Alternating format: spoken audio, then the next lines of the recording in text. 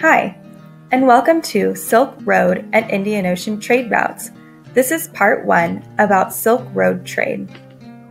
Before we officially dive into our topic, I wanted to point out that we are now officially 100% into period three of AP World History, and this is the time period of 600 to 1450.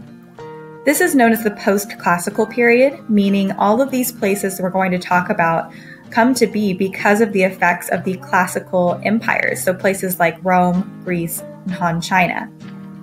All of those classical empires are gone now, and these are the places that are um, emerging out of them. So, some of the highlights of this, we're going to flow into period three with the rise of Islam and the first trans regional civilization that it creates. And the two big, really influential powers during period three will be the uh, newly formed Islamic empires and the Chinese dynasties. We will also see the spread of universalizing religions like Islam, Christianity, and Buddhism, as well as new civilization centers, which will be primarily selected due to this increase in trade. We also see the emergence of global contacts through the Silk Road trade routes and the Indian Ocean trade routes. Ultimately, we will see the decline of this time period come with the Mongol takeover and the spreading of the Black Plague.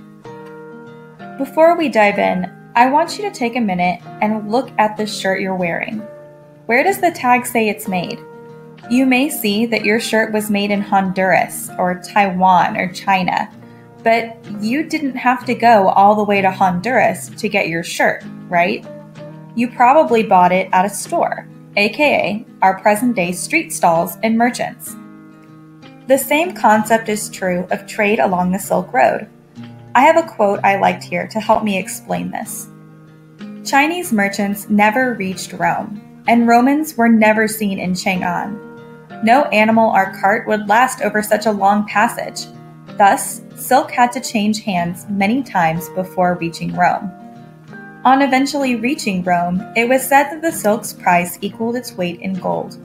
Silk became such a great hit in Rome that finally, this decadent material, which puts a heavy burden on the economy, was banned by the Roman emperor. In an effort to bypass expensive middlemen, new routes were constantly being sought. Eventually, the safety of the sea route caused the Silk Road to be completely abandoned. The point of this quote is that just like the t shirt you're wearing, it changed hands many times between the factory person who made it and you, the consumer that bought it. The same is true of all of these goods around the Silk Road. The silk that came from China didn't travel with one person across the entire Silk Road it's going to change hands each time, and each time it's going to get a little bit more expensive to buy that product.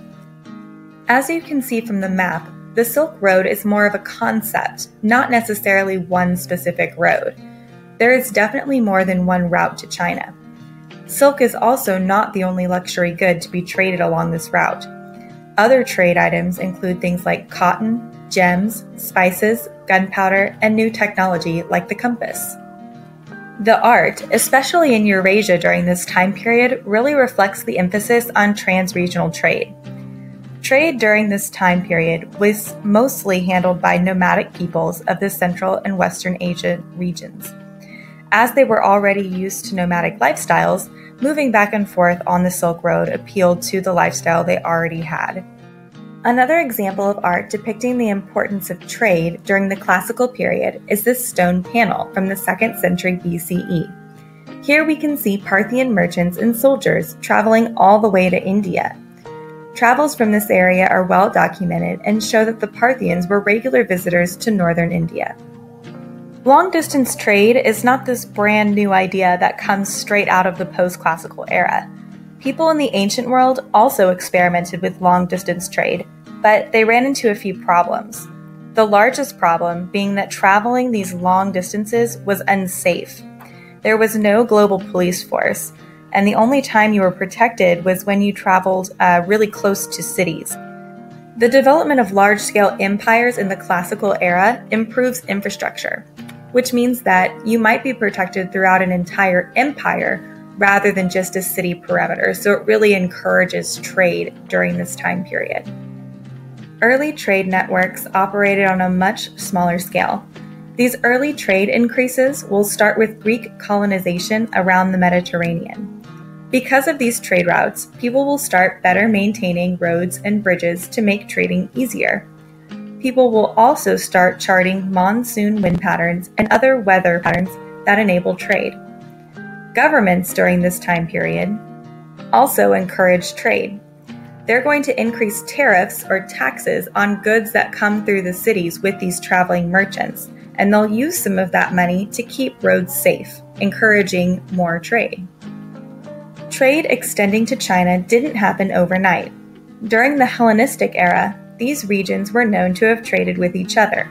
For example, Bactria, located northwest of India, which was part of the Persian Empire at the time, and India were both known for exporting goods like spices, cosmetics, gems, and pearls. Persia and Egypt were known for exporting grain, which doesn't sound like as flashy as gemstones or pearls, but grain was highly sought after commodity. It's one of the only foods at this time period that can be stored long term without going bad. Cities would hoard grain surpluses to save for a rainy day. The Mediterranean, much like today, is known for their wine, olive oil, jewelry, and art. These longer distance trade routes during the Hellenistic era will be part of what promotes merchants to a class of their own in most social structures. They were valued members of society that brought the wealthy the luxury goods they so desperately craved. And then there are spices. Let's just take a moment to admire the vibrant picture in front of us. Why would people go to so much trouble for spices? Well, food was bland. Even basic spices like salt and pepper didn't come naturally in European climates, so your food was pretty blah. They also believed that many spices had healing qualities, and everyone wants a quick fix for their ailments. Merchants especially like items like spices because they were low in weight but high in value. They could carry bags of spices easily and they made a good profit. Merchants had to figure out other ways to ship larger, heavier items, which will eventually lead to the Indian Ocean trade route, which we will talk about in a later episode. This concludes part one of Silk Road and Indian Ocean Trade Network lectures. Thanks for watching.